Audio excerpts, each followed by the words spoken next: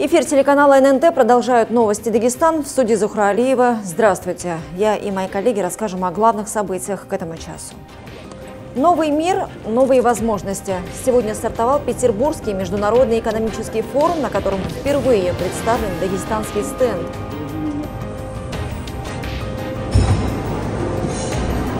Поздравляю стороны с подписанием настоящего соглашения. Спасибо. Рыбное место пусто не бывает. В Махачкале возрождают рыбный порт. Комплекс оснастят оборудованием по первичной переработке и хранению рыбы.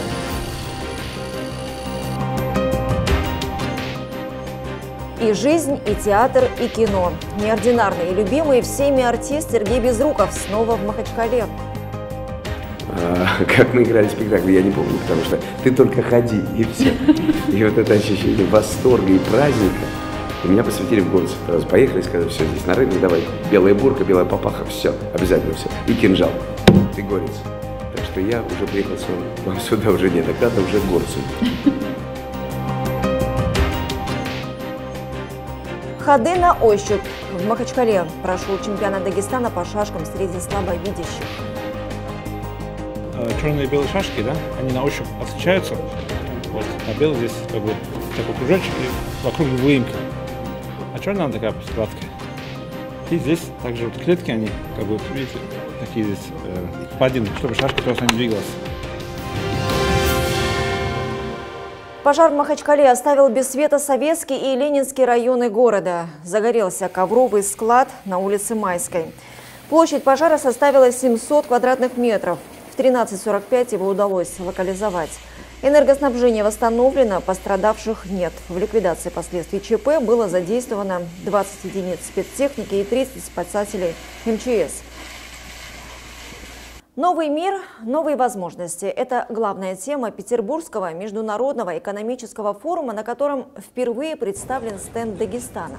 В рамках мероприятия планируется заключение 15 соглашений о сотрудничестве, которые затрагивают самые разные сферы – Дагестанскую делегацию возглавляет Сергей Меликов. И сегодня же глава республики и генеральный директор компании «Российский экологический оператор» Денис Буцаев подписали документ о сотрудничестве в области обращения с твердыми коммунальными отходами на территории региона. Стороны обменяться папками для подписания второго экземпляра.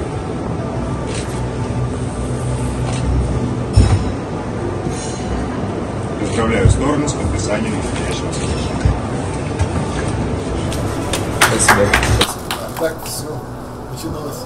Да, начиналось Не печально, смело, да. печально начиналось. Сейчас уже у нас в этом отношении Дагестан один из лидеров по объему, э, скажем, пройденного пути глобального формирования Ну, Слушай, ну я в этом отношении хочу поблагодарить вас, и лично вас, и вашу команду за то, что вы э, такую действенную и очень э, необходимую для нас помощь оказали. Конечно, и министра, и вице-премьера, безусловно, без э, вашей методической помощи, без сопровождения э, всех мероприятий, которые мы проводим в соответствии с нашей совместной э, дорожной картой, нам было бы это делать очень трудно. Спасибо. Большое. Но я, в свою очередь,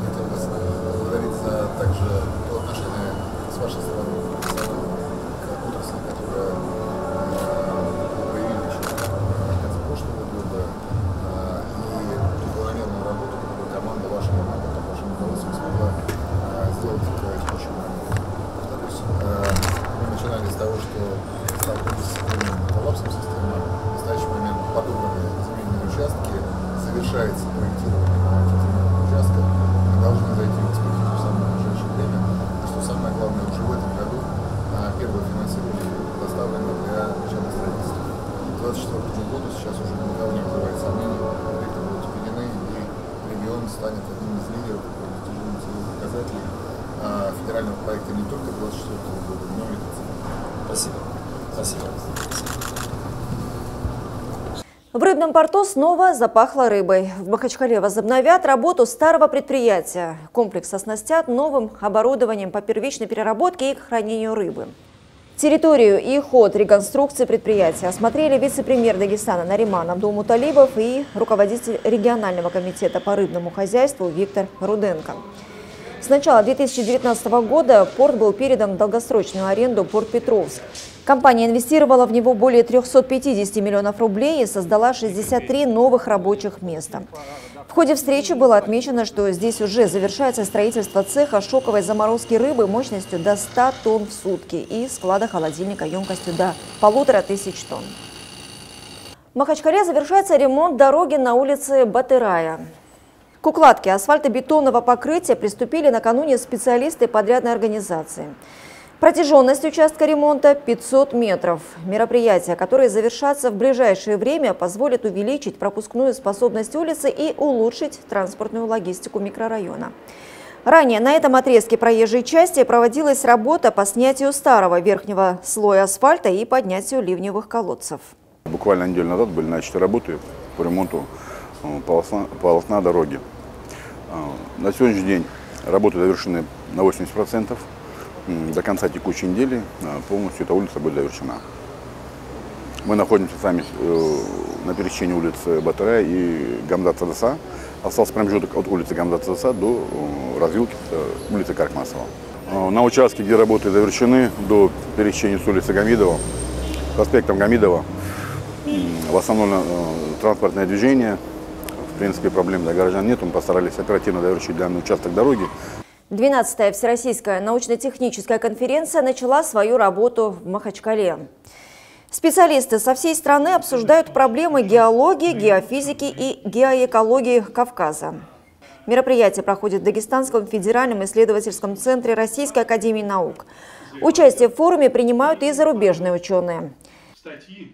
Значит, эта конференция у нас традиционная. Мы обсуждаем вопросы э, геологии, э, полезных ископаемых, перспективы появления новых месторождений на юге России, вот, на республиках Северо-Кавказского федерального округа, это Дагестан, Чеченская республика, Северная Осетия, Кабардино-Балкария. Ну, вот, вот это у нас одна из задач. А, по полезным ископаемым, включая нефть, газ, руда, строительные материалы. Второе направление – это изучение геофизики, геодинамики опасных природных процессов, землетрясений, сейсмическое районирование, какие исторические землетрясения, какие могут быть, прогноз, составление карт районирования. Это второе направление. Третье направление, одно из актуальных у нас – это изучение геокологии, то есть загрязнение природной среды, воды, атмосферы, влияние человека на климат, а, загрязнение вод подземных, поверхностных, влияние геотермальных месторождений на загрязнение природы, добыча нефти как влияет, ну вот и, соответственно, мероприятия по снижению негативного влияния на природу. И еще у нас направлена история исследования наук о Земле на Северном Кавказе. Кавказ, хотя он много лет, уже много веков изучается, во многом еще не изучен, еще есть перспектива изучения, поэтому в этом плане Кавказ привлекает внимание многих ученых. В ходе дискуссии разрабатываются рекомендации э, геологическим организациям, нефтедобывающим компаниям. Сейчас ситуация какая? В общем-то, снижение добычи нефти и газа на Северном Кавказе. Им нужны новые направления, а без ученых они эти новые направления, производственники, не смогут сами. Тут они вынуждены прислушаться. Естественно, а, природоохранным мероприятиям уже сам Бог велел, потому что такие штрафные санкции будут на производство, если они не будут прислушиваться природоохранным мероприятиям. Секционные заседания будут проходить 15-16 июня. Затем в течение двух дней участники смогут посетить уникальные геологические объекты. Известный российский актер Сергей Безруков приехал в Махачкалу с новой версией спектакля «И жизнь, и театр, и кино». Но в планах артиста не только встреча с дагестанским зрителем, но и подписание официального соглашения о сотрудничестве с Министерством культуры республики. Стороны договорились, что со следующего года в Дагестане будет реализован масштабный праздник для детей и юношества «Эхо Большого детского фестиваля». Создателем и художественным руководителем проекта является Сергей Безруков. Мы выпускаем спектакли, фильмы, анимацию, все как раз для этих детей.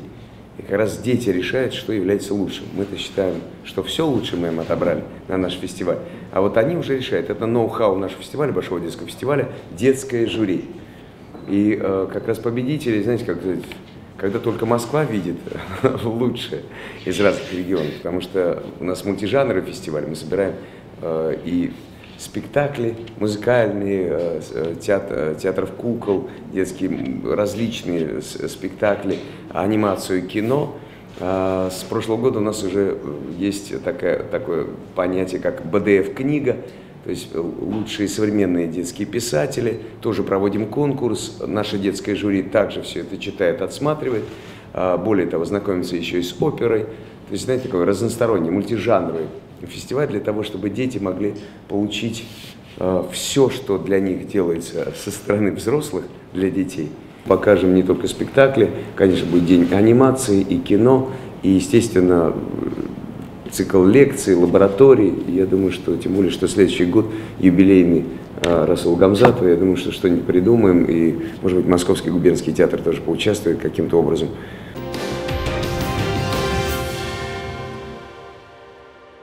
И о спорте. В Махачкале прошел чемпионат Дагестана по шашкам среди слабовидящих. За доской собрались лучшие шашисты республики среди незрячих и тотально слепых. За особенным турниром следил наш корреспондент Карим Данеев. Кто-то с трудом различает доску на столе, а кто-то и вовсе ее не видит. Тотально слепые спортсмены играют в шашки на ощупь, но это не мешает игрокам разыгрывать красивые тактические схемы. Пару специальных приемов для первой партии подготовил и Хайбула Магомедов. Сегодня он один из претендентов на победу в турнире. Э, черные и белые шашки, да, они на ощупь отличаются. Вот, на белый здесь как бы такой кружочек, и вокруг выемка. А черная она такая гладкая. И здесь также вот клетки, они, как бы, видите, такие здесь э, впадины, чтобы шашка туда не двигалась. Также шахматы тоже есть такие же адаптированные. А что нужно, чтобы играть вот такие шашки? Память хорошая, да, разве? Я думаю, как бы воображение, все, ну, незрячий должен представлять себе доску. И уже когда ты щупаешь, уже ну, понимаешь, вот, сразу понятно, черно-белое, и э, уже представляешь примерно, где какая шашка находится. И, чтобы уточнить, можно там пощупать, да? Это первый чемпионат Дагестана по международным стоклеточным шашкам за последние 30 лет. В финальную часть турнира вышли 22 лучших шашиста из разных уголков республики. 18 мужчин и 4 женщины борются за выход на чемпионат России. Хотел бы сказать, что шашки – это не только вид спорта, но это и революционное мероприятие. Слепые у нас это люди, которые практически ничего не видят. Тем не менее, эти люди очень мужественные, играют. У нас в Дагестане более 10 тысяч инвалидов по зрению. А большинство людей не знает об этих людях. Но тем не менее, эти люди не сломлены, они продолжают. Э, у них э, э, Федерация спорта слепых Дагестана последние три года является лучшей федерацией спорта слепых в России. У нас развиты различные олимпийские виды спорта. Хочу сказать, что мы уже неоднократно ездим на чемпионаты России. Наши спортсмены завоюют различные медали на Кубках России, на международных турнирах. И люди играют и свободное время от работы, и так играют они, и показывают хорошие результаты. Надеюсь, этот турнир будет у нас постоянно, и Минспорт включит ее в план, э, ежегодный план проведения наших турниров. Также хочу сказать, что Минспорт всегда найдет на встречу, командирует нас на турниры по России, внутри Дагестана у нас в этом плане очень развита помощь есть. Для Дагестана стоклеточные шашки являются молодым видом спорта. Основных результатов наши спортсмены достигали в русских шашках, где площадь доски составляет только 64 клетки. Но пришло время выходить на новый международный уровень. Организатором турнира выступила Федерация спорта слепых и Федерация шашек Дагестана. Ну, с удовольствием, конечно, это делаем. И среди незрячих э, спорт довольно-таки хорошо развит в нашей стране. Ну и наша республика в этом деле не отстает. Есть перспективные игроки, и мы будем э, наводить порядок э, самый, и отправлять все этим все, что мы будем создавать, здесь отправлять на рейтинги игрокам, чтобы у них были, ну, дадим порядок. То есть у нас больше играют русские шашки, но тем не менее этот вид тоже он нужен и важен, и его нужно развивать. Поэтому будем развивать в дальнейшем. А победители будут участвовать уже на всероссийских э, соревнованиях и на соревнованиях э, СКФО и ЮФО. Теперь уже мы э, поговорили с, с, с руководителем общества слепых, и что в дальнейшем будем регулярно проводить эти чемпионаты и под эгидой Федерации шашек Республики Дагестан все будет происходить. По итогам чемпионата первое место среди женщин заняла Патимат Гасанова из Буйнакска. Второе и третье место за представительницами Махачкалы Патимат Талибовой и Аидой Атлухановой. В мужском зачете тройка призеров расположилась следующим образом. Заирбек Пахрудинов, Ахмед Шуайбов и Зайнудин Ашуров. Победителей ждет участие в чемпионате России, который пройдет в начале июля в Ярославле. Карим Даниев, Магомед Магомедов, Новости ННТ, Махачкала. Смотрите наши выпуски также на нашей странице ВКонтакте и на Яндекс.Дзен. А у меня на этом все. Добрых вам новостей и до встречи.